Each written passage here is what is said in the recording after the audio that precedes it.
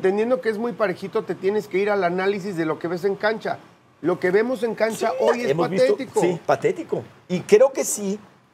Además, eh, digo, los jugadores para mí son, siempre van a ser, y en esa ocasión quedó muy claro los grandes responsables, pero sí, creo que lo que ofreció Coca Bueno, no fue nada interesante. entonces, en esta discusión A tan ver. acalorada que estás teniendo, No sé.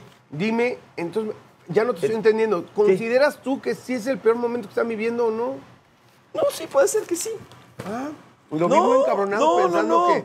No, me le quería digo que sí, no, pero es que ¿no? a lo que voy es que, o sea, pero está cerca de lo que, perdóname, Jan, de lo que ha sido siempre México.